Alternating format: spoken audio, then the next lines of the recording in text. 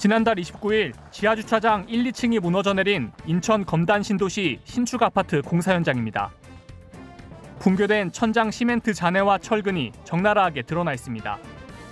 밤늦게 사고가 나 인명 피해는 없었지만 사고 원인을 두고 논란이 커져가는 가운데 시공사인 GS건설이 자체 조사 결과를 내놨습니다. 시공사가 초음파 검사를 통해 자체 조사한 결과 지하 주차장 지붕을 받치는 철근이 설계와 달리 일부가 누락된 것으로 파악됐습니다.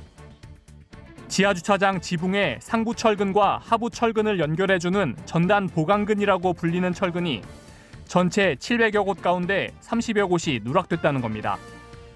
GS건설은 시공사로서의 책임을 인정하고 깊이 사과드린다는 입장문을 냈습니다. 그러면서 앞으로 10주 동안 공사가 진행 중인 전국 83개 아파트 현장 모두를 정밀 안전 점검하겠다고 밝혔습니다. 예비 입주자들은 안전진단 결과와 상관없이 전면 재시공을 요구하고 있습니다.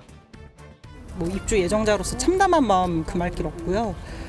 현재 상황 파악과 이제 원인 규명, 그다음에 뭐 그 이후에 후속 조치 관련해서도 강력하게 저희가 요청할 국토교통부는 붕괴 사고 원인을 더 철저히 밝혀내기 위해 전문가 12명으로 구성된 건설사고 조사위원회에 조사를 맡겼습니다.